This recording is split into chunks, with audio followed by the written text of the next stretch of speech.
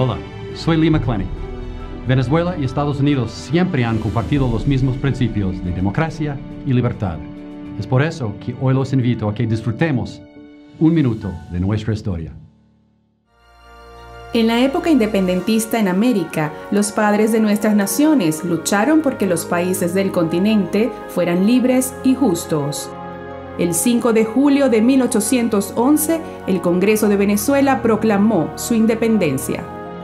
Nosotros, por tanto, los representantes de las Provincias Unidas de Venezuela, con el Ser Supremo como testigo de la justicia de nuestro proceder y en nombre y con el apoyo del pueblo virtuoso de Venezuela, solemnemente declaramos al mundo que nuestras provincias son y serán por siempre, a partir de este día de facto y de jure, naciones libres.